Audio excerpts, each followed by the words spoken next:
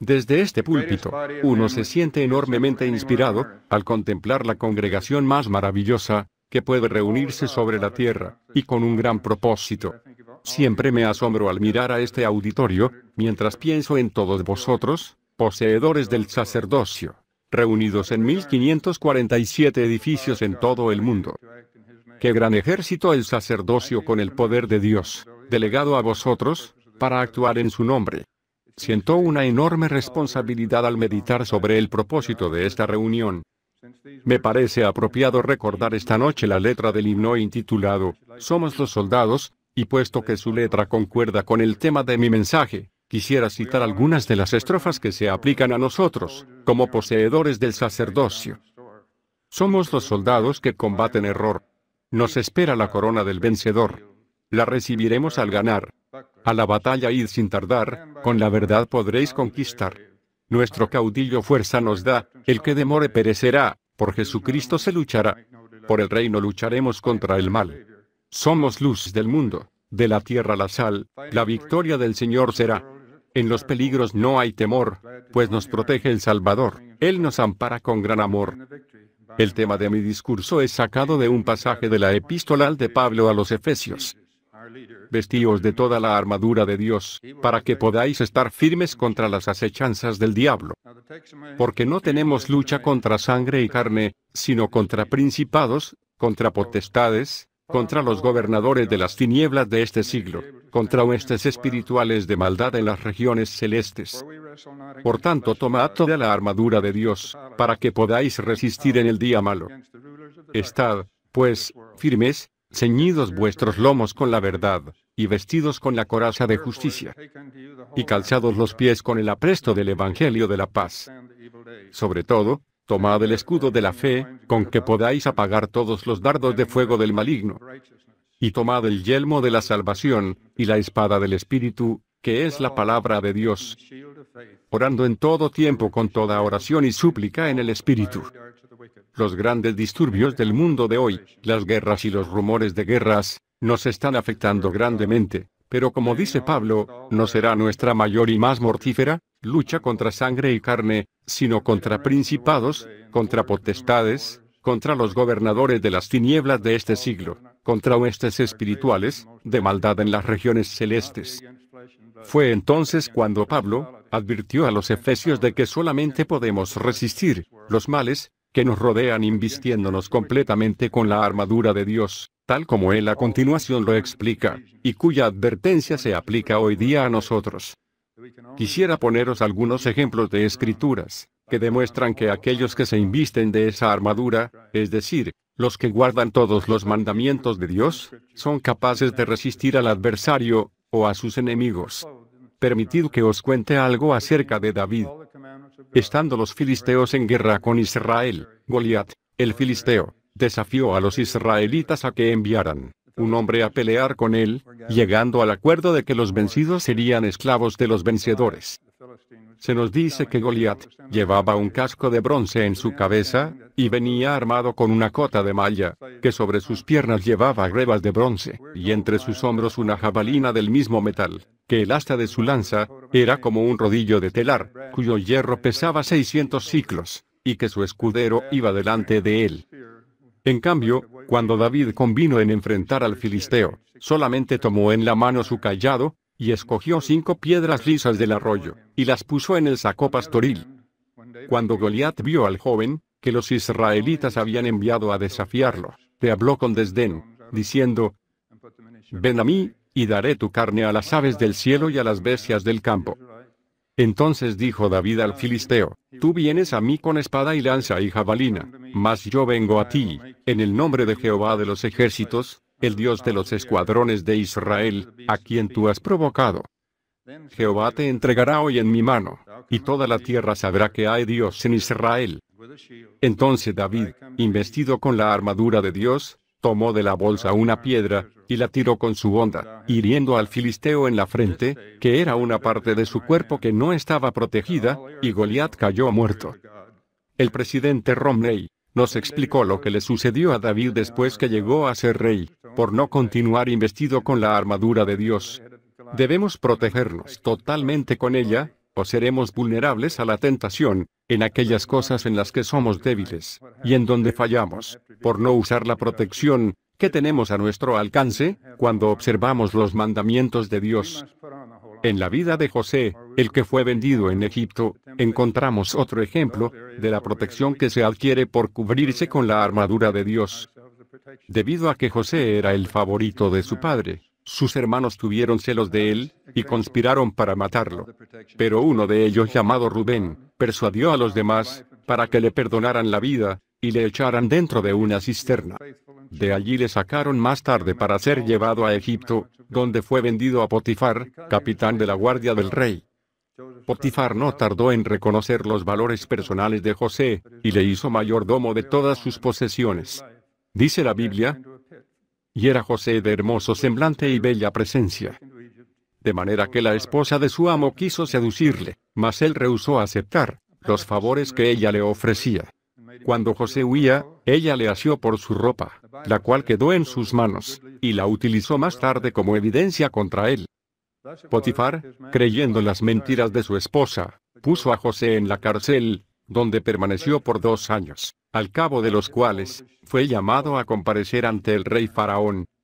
Este había tenido un sueño, que ninguno de sus sabios, ni magos pudo interpretar, hasta que el copero del rey, se acordó de que mientras estaba en la cárcel, José había interpretado sus sueños, y todo lo predicho por él se había verificado. Por lo tanto, Faraón mandó a buscarle, y le relató sus sueños. José los interpretó, advirtiéndole que habría en Egipto siete años de abundancia seguidos de siete años de hambre. Dándole consejos al rey sobre lo que debía hacer, José le explicó claramente que la interpretación que él había dado del sueño provenía de Dios, quien se había valido del mencionado sueño, para poder guiarle hasta él. Al saber Faraón que Dios estaba con José, le nombró gobernador sobre toda la tierra de Egipto. Más tarde, mientras desempeñaba este cargo, pudo salvar a su propia familia de morir de inanición. Pienso que todos vosotros conocéis la historia, José se había investido con toda la armadura de Dios, y Dios estuvo con él a través de todas las tribulaciones, las que venció, guardando constantemente los mandamientos, y rogando a Dios por auxilio y fortaleza. Así fue bendecido, y pudo hacer lo que el Señor le requería. Es sumamente importante que temprano en nuestra vida, decidamos cuáles son las cosas que haremos y cuáles no. Mucho antes de llegar al momento de encararnos con la tentación, deberíamos haber tomado la determinación de resistir a la atracción de un cigarrillo, de una bebida alcohólica, o de un acto de inmoralidad, en fin, de todo aquello que nos prive de la compañía del Espíritu del Señor. Todos tenemos debilidades y tentaciones distintas, y deberíamos examinar nuestra vida, para averiguar cuáles son y cuándo debemos ponernos una armadura extra, a fin de poder hacer lo justo, y no rendirnos a la tentación. Ahora os daré otro ejemplo. Supongo que nadie ha tenido más o mayores experiencias que las que tuvo Daniel. Esto nos demuestra la protección que viene de investirse con la armadura de Dios. Por mandato del rey Nabucodonosor, Daniel, con otros jóvenes escogidos de Israel, fue traído a vivir en el Palacio Real para recibir una cierta capacitación. Habían de ser alimentados, con sumo cuidado por el término de tres años, para luego ser presentados ante el rey. Aparentemente habían de comer únicamente los alimentos más selectos, inclusive la comida, y el vino del mismo rey. Daniel y sus tres amigos, a quienes conocemos con los nombres de Sadrach, Mesach y Abednego, pidieron permiso para rechazar la comida y el vino del rey. La persona que se encargaba de ellos le dijo a Daniel, que éste se enojaría mucho si los jóvenes se veían menos saludables y más pálidos que los demás, por no haber comido la comida que él les había indicado. Pero Daniel le rogó que les diera un plazo de diez días, durante el que solo comerían legumbres y beberían agua, al cabo del cual podría compararlos con los jóvenes que se alimentaban con el menú del rey y bebían de su vino. Transcurrido el plazo señalado, los cuatro jóvenes se veían más saludables que los demás, de manera que se les permitió continuar. Al fin de los tres años, cuando fueron llevados ante el rey, se nos dice que éste no encontró entre todos los jóvenes ninguno que igualara a Daniel y sus tres amigos, en todo lo concerniente a inteligencia y sabiduría, les halló diez veces mejores que todos los magos y astrólogos de su reino. ¿Qué semejanza más notable con la promesa que se nos ha dado en la palabra de sabiduría, la cual dice así? Y todos los santos que se acuerden de guardar y hacer estas cosas, rindiendo obediencia a los mandamientos, recibirán salud en sus ombligos, y médula en sus huesos, y hallarán sabiduría, y grandes tesoros de conocimiento, aún tesoros escondidos. Y correrán sin cansarse, y no desfallecerán al andar. Y yo, el Señor, les hago una promesa, que el ángel destructor pasará de ellos como de los hijos de Israel, y no los matará. Cada una de estas promesas, se cumplieron en la vida de Daniel y sus tres amigos, como veremos en el relato de sus experiencias más notables. El rey Nabucodonosor tuvo un sueño que le inquietó mucho, pero el cual no podía recordar. Estaba a punto de mandar ejecutar a todos sus sabios y astrólogos, e inclusive a Daniel y sus amigos, porque nadie le podía decir ni el sueño ni su interpretación.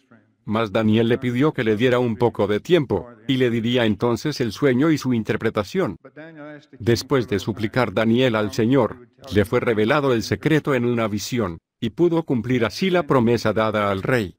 Sin embargo, le explicó muy claramente que el secreto lo había revelado el Dios del cielo, y que su propósito era el de informar al rey sobre algunos de los acontecimientos que habían de suceder relacionados con su reino, y que en un tiempo futuro el reino de Dios sería establecido sobre la tierra. El rey quedó impresionado, y le dijo a Daniel, Ciertamente el Dios vuestro, es Dios de dioses, y Señor de los reyes, y el que revela los misterios, pues pudiste revelar este misterio. Disfrutaba Daniel todavía del favor de los dos reyes sucesores de Nabucodonosor, cuando algunos de sus asesores que tenían celos, trataron de hallar un pretexto para desacreditarle. No pudiendo hallar ninguno, pero sabiendo que Daniel siempre oraba a su Dios, se les ocurrió la idea de que el rey decretara que cualquier persona que elevara petición a cualquier dios u hombre aparte del rey mismo, fuera echado en el foso de los leones. Vosotros ya sabéis lo que sucedió. A pesar de esta orden, Daniel no dejó de hacerlo, y en una oportunidad cuando lo hallaron orando, lo llevaron ante el rey, quien, debido al amor que le tenía, se sintió arrepentido de haber emitido tal decreto y quiso libertarlo, pero le recordaron que la ley de los medos y los persas, dice que ningún edicto u ordenanza, que el rey confirme puede ser abrogado, sino que debe llevarse a cabo. Cuando echaron a Daniel en el foso de los leones, el rey conmovido le dijo, el Dios tuyo, a quien tú continuamente sirves, Él te libre. Pasó la noche sin dormir, y muy de mañana fue al foso de los leones, al llegar tuvo la alegría de encontrar vivo a Daniel, quien le dijo, mi Dios envió su ángel, el cual cerró la boca de los leones, para que no me hiciesen daño, porque ante él fui hallado inocente, y aún delante de ti, oh rey, yo no he hecho nada malo. El rey mandó entonces sacar a Daniel del foso de los leones y echar en él a los acusadores, quienes fueron muertos en el acto por las bestias hambrientas. Daniel, habiendo obedecido todos los mandamientos, se había investido en verdad de toda la armadura de Dios. Estamos preparados en realidad para actuar como lo hicieron David, José, Daniel, y otros que sabemos, fueron protegidos, porque adoraron y sirvieron al verdadero Dios y guardaron sus mandamientos? Consideremos las siguientes preguntas. ¿Estudiamos las escrituras a fin de aumentar nuestra fe y testimonio del Evangelio? ¿Guardamos los mandamientos? ¿Cumplimos con la palabra de sabiduría? ¿Pagamos un diezmo completo? ¿Asistimos a nuestras reuniones? ¿Respondemos a los llamamientos que nos hacen nuestras autoridades? ¿Somos virtuosos, limpios y puros de corazón, mente y acciones? ¿Luchamos contra los males que nos rodean? Contra la pornografía, el aborto, el tabaco, el alcohol y las drogas? ¿Tenemos valor para defender nuestras convicciones? ¿Podemos decir con sinceridad que no nos avergonzamos del Evangelio de Cristo? ¿Vivimos en paz con nuestros vecinos, evitando chismes, murmuraciones y rumores falsos? ¿Realmente amamos a nuestro prójimo como a nosotros mismos? Si podemos contestar sí a todas estas preguntas, Podremos decir entonces, que nos hemos investido con toda la armadura de Dios, la cual nos protegerá del mal, y nos preservará de nuestros enemigos. Si tenemos que contestar, no a cualquiera de estas preguntas, nuestra armadura es débil. Hay una parte que no tiene defensa y puede ser el punto donde somos vulnerables al ataque, y estaremos sujetos a ser dañados o destruidos por Satanás, quien no cejará en su intento de encontrar nuestro punto débil. Examine cada uno su armadura. Si hay una parte que no está protegida, tome la determinación de agregar ahora mismo la parte que falta. Por más anticuada o destartalada que sea vuestra armadura, acordaos siempre que tenéis el poder de hacer las modificaciones necesarias para completarla. Mediante el gran principio de arrepentimiento, podéis cambiar vuestra vida y empezar ahora por medio del estudio, la oración y una determinación de servir a Dios y guardar sus mandamientos, e investiros con la armadura de Dios. Permitidme concluir con el juramento y el convenio del sacerdocio, el cual si lo observamos y guardamos, nos proveerá un escudo y una protección, con todas las bendiciones prometidas a los fieles. Porque los que son fieles hasta obtener estos dos sacerdocios de los que he hablado, y magnifican sus llamamientos, son santificados por el Espíritu, para la renovación de sus cuerpos llegan a ser los hijos de Moisés y de Aarón y la simiente de Abraham, la iglesia y el reino, y los elegidos de Dios. Y también todos los que reciben este sacerdocio, a mí me reciben, dice el Señor. Porque el que recibe a mis siervos, me recibe a mí, y el que me recibe a mí, recibe a mi Padre.